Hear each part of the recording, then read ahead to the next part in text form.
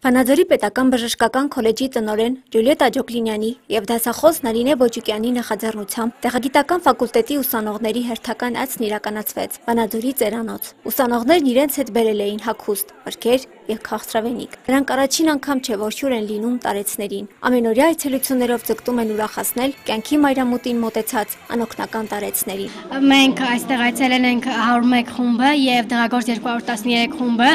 որ այս ակցիան կազմակերպ կերպել է մեր կուրսխեք ընկեր Ոջուկյանը, որին շատ շնորհակալ ենք։ Այսպիսի միջոցառումներ արդեն իսկ ավանդույթ են դարձել մեր քոլեջի համար։ Մենք շատ միջոցառումների ենք այսպիսի մասնակցում եւ այսպիսի հաճելի պահեր ենք ապարգևում ոչ միայն ծերանոցի,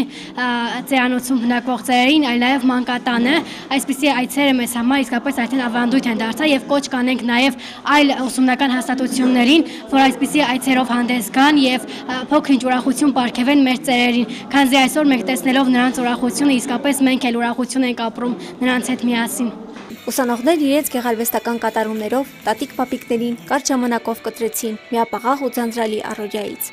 Ես իմ անուշ Հայաստանի արևահամբարն եմ սիրում։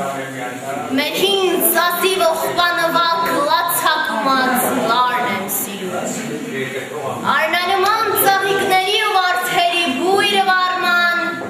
ու նայրյան աղջիկների հեսաճկում բարն եմ սիրում։ Շապատը մեկ մեր մոտ գալող են գալիս,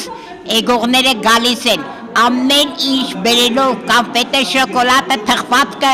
ամեն ինչ ուտելու համար պոլլի բերում են եւ փայենանում ուտում ենք։ Շնորհակալություն Քրիստինե Մելիքսեթյան, Կամոծատուրյան, Լորե հերոստանգերություն։